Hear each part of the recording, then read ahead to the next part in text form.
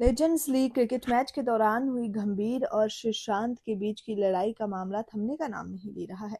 गौतम गंभीर और सुशांत की तरफ़ से रिएक्शन का दौरा जारी है। अब इस लड़ाई में सुशांत की पत्नी भुवनेश्वरी भी कूद पड़ी हैं।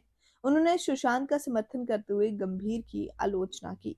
गंभीर और सुशांत की लड़ाई पर पूर्व तेज गेंदबाज की पत्नी भुवनेश्वरी ने सोशल मीडिया पर लिखा श्री से ये सुनना बहुत हैरान कर देने वाला है कि खिलाड़ी जो कई वर्षों तक उनके साथ भारत के लिए खेला, वो इस स्तर पर गिर सकता है।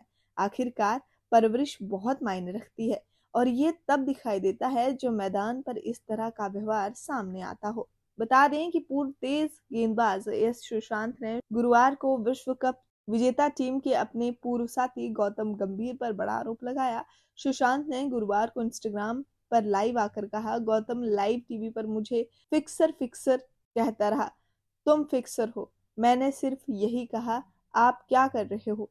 मैंने मजाकिया अंदाज में, मैं हंसता रहा। जब अंपायर उन्हें शांत कराने की कोशिश कर रहे थे तो उन्होंने उनसे भी इसी भाषा में बात की। मैंने किसी अपशब्द का इस्तेमाल नहीं किया। वहीं भारतीय टीम के पूर्व ओपनर गौतम गंभीर ने अपने एक्स अकाउंट पर अपनी हंसती हुई तस्वीर शेयर की। उन्होंने इस दौरान कैप्शन दिया, मुस्कुराइए, जब दुनिया को सिर्फ़ अटेंशन चाहिए। इन सात शब्दों में ही गंभीर ने स्पष्ट कर दिया कि उन्हें किसी बात से कोई भी फ़र्क नहीं पड़ता।